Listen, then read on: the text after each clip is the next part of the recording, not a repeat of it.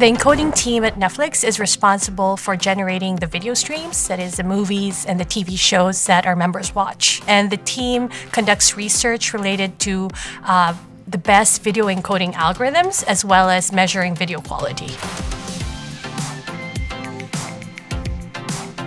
Encoding is seems like an easy problem, but it's not really. Addressing different spaces like 4K HDR. At the same time, we do have members, global members, who have bandwidth constraints. So we can't really deliver really, really high quality video, but we still have to deliver it at bandwidth or bit rates that they can accommodate. And by pushing both the low end and the high end, we think we can achieve even better quality for our members. Members watch Netflix on a wide variety of devices, and the encoded streams that we're producing work in this ecosystem which has to be interoperable. The industry has to continue to innovate in terms of the basic video compression research.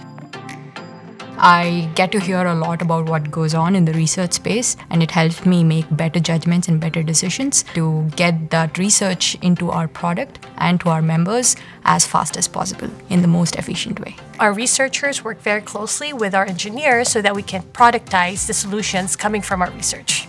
It's always been a continuous improvement process for us. Every different content is treated the way it should be treated. So we might choose different encoding strategies. Simple animation titles uh, might not require as many bits compared to if you want to encode for uh, action movie, which requires higher bits.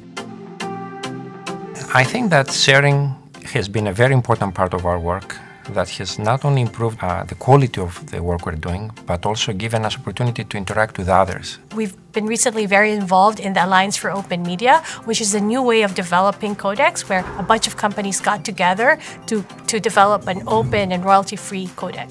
And the industry has uh, given us very positive feedback and has helped us improve it even further. So if we want to make decisions on how we want to do encoding, this has to be supported in the devices, and we have to be open about how we're doing things. So that's why we're opening a lot of our work. Speaking for myself, it's, it has been an amazing experience to be able to share uh, and look forward to do even more so. Our overall goal is to be able to deliver the best quality for any device.